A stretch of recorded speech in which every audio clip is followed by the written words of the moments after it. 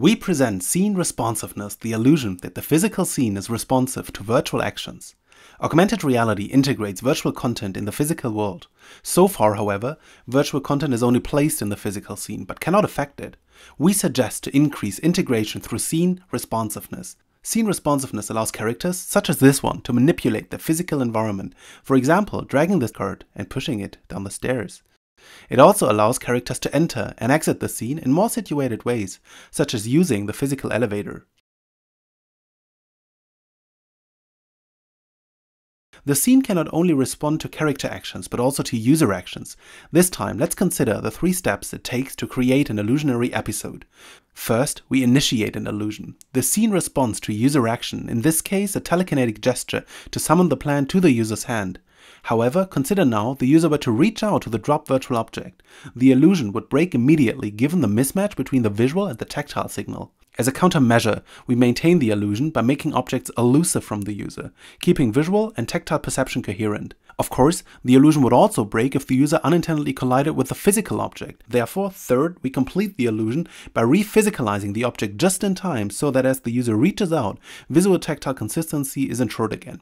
We call this the daydreaming illusion type. Scene responsiveness also enables the Copperfield illusion as a second type.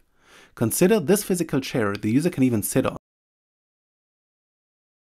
The chair is responsive to the character's manipulation and can be carried around. But of course, you wouldn't be able to sit on it, right?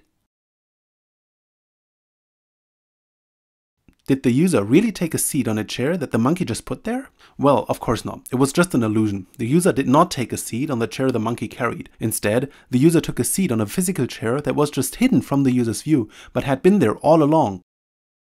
We diegetically transport and align the source object to the target pose. Our evaluation with 20 participants indicated the illusion fidelity lends itself to a magical experience. Scene responsiveness is based on a technique of toggling between the reality states of an object. Given a physical chair, we first remove it visually. Notice how the filled background lines up with the physical geometry and appearance. Then we insert a digital object twin at the physically corresponding pose and shape.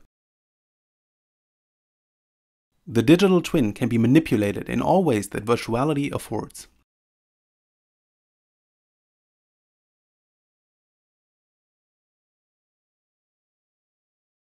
After scanning in the space on the left and interactable objects on the right, we use a custom Unity plugin to automatically obtain the scene's visual appearance, geometry, and walkable area semantics. Next, we position the object twins.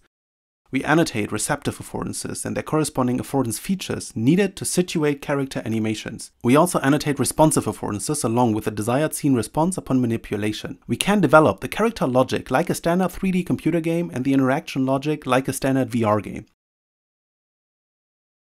When deploying to the headset, our spatial computing and stereoscopic shading architecture automatically renders it for scene responsive mixed reality, taking care of occlusion, collision, shadows, dynamic path planning, situated animations, inverse kinematics for character grab interactions, and of course just-in-time virtualization upon character or user manipulation, hiding the object as needed. To remove an object, we insert a 3D masking plane, take the background and project it onto the plane, fade out toward the edges, alpha compositing the result with a pass-through layer. Unfortunately, the masking plane also occludes the virtual 3D scene, for example the character and the virtual counterpart of the physical object. Dynamically assigning camera layers, rendering orders and depth buffer reads and writes, we construct a shading architecture, which provides smooth portals between the physical and the co-aligned virtual space, allowing virtual characters and objects to seamlessly travel between the two. Our shading architecture is coherency preserving and works for multiple objects, even in one line of sight, taking care of occlusions and seamlessly handing over shadows between the physical and the manipulated space.